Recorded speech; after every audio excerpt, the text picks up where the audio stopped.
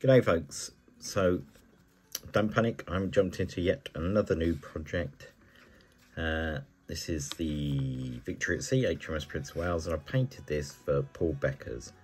So Paul's had an operation on his shoulder so he can't paint at the minute.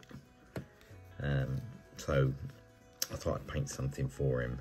Um, he did actually mention this boat and I kind of went radio silent on him. so he probably thinks I'm ignorant as fuck now, but yeah, sorry, mate. I just didn't want to spoil the surprise. Um, and here it is, HMS Prince of Wales. Uh, I'm not going to talk about the history of this boat. Um, if you want to know, maybe Paul will tell you some more about it and its ignominious ending. Uh, but I have found a new, newfound respect for anyone that paints these little boats because I really struggled with this.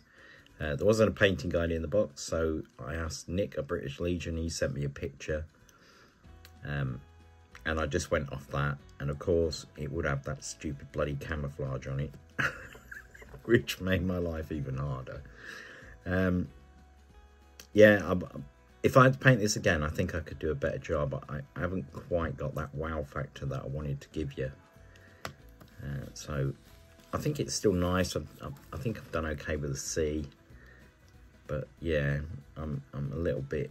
Hmm, I could have done better if I'd have done it again. But it's too late now, mate. It's uh, is what it is. So I'm going to post this off, and I'm not going to put this video out until I get confirmation from Paul um, that he's got it. So there'll be a link in the description below to Paul's channel. Please go over and give him a sub. Let's try and get him to a thousand subs, people, please.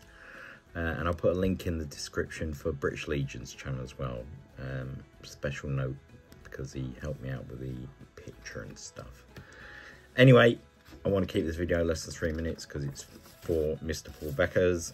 And there you go, HMS Prince of Wales. Stills at the end. Thank you very much for watching. Give Paul a sub, give Nick a sub, and I'll catch you next one.